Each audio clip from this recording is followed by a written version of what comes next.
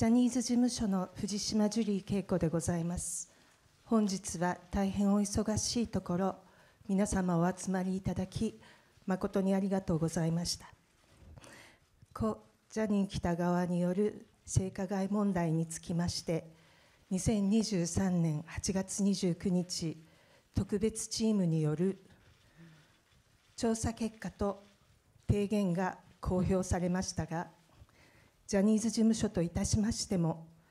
私藤島ジュリー景子個人といたしましてもジャニー喜多川に性加害はあったと認識しております。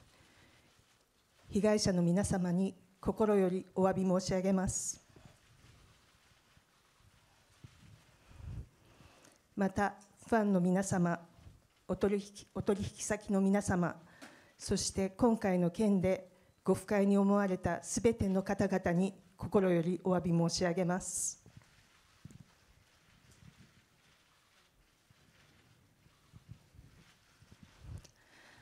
私、藤島ジュリー景子は特別チームの提言を真摯に受け止め9月5日をもって経営責任を取り代表取締役社長を経引責辞任いたしました。新しい代表取締役社長は本日同席しております東山紀之が務めさせていただきます。また弊社代表取締役副社長の白羽卓も今回の事態を重く受け止め9月5日をもって引責辞任いたしました。被害者の方々に対しましてはジャニーズ事務所として補償を行ってまいります。私藤島ジュリー景子は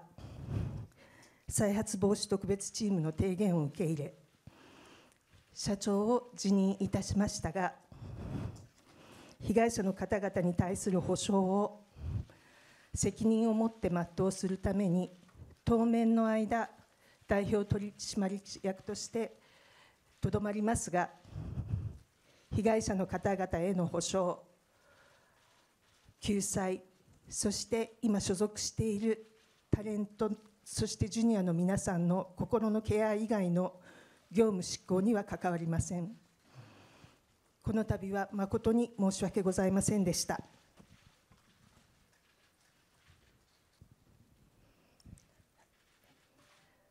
まず代表取締役についてでございますが現時点ではまだ保証を始めておりませんので私は100%株主でございますがいろいろなことを決めていく上で代表取締役でいて保証について議論していく立場である方が事務所の中で良いというふうに判断してこの形でとどまっております。これあの保証が速やかに進めばもちろんあの代表取締役から降りるということは考えております。で株についてでございますがこれも同じくで今の時点では私が100%の株を持っていることが保証についても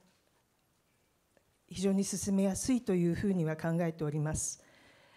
ただ今後については同族経営が今回の問題であるというご指摘もいただいておりますのでどういうふうにしていくことが一番良いかは新経営体制の皆様ともご相談しながらいろいろと協議していきたいと思っております。